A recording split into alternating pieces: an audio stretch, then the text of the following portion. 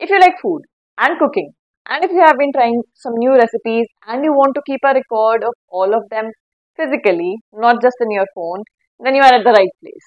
So basically, I have found this new love for cooking, and although I have the pictures and the links of all the recipes, I really want to put it all in my scrapbook and I'll show you how exactly I do it.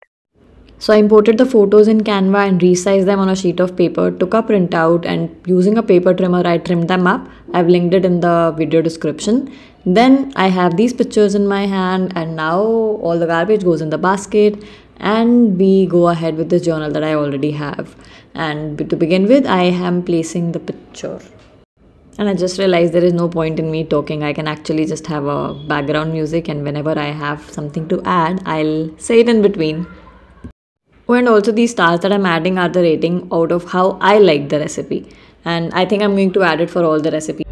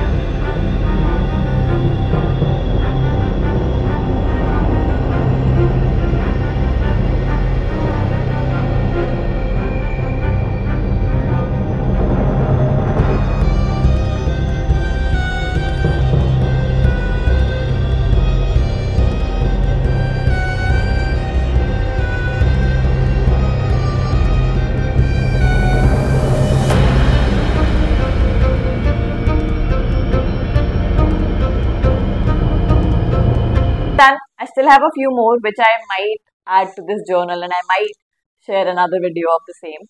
Now, one thing to understand here is now, if you look at the recipe journal that we have made today, a few things to notice is what I did is first I uh, fixed the places of the images that I have been using. Okay, and if you look at it, all the images are sort of placed at different places. That sort of already brings the differences in the spreads that you are making. Okay, the next thing that you do is you add the name of the recipe. Again, you can bring some variation in how you do it.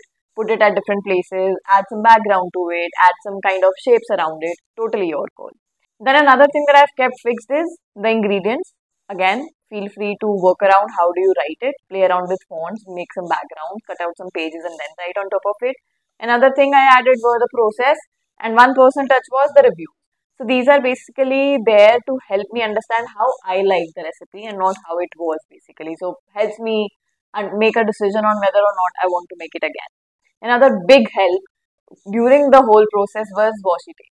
So wherever I found that there was spaces remaining and I did not know what to do about it, I simply went ahead and I put washi tapes around it. If you don't have that, you can probably use some pattern paper.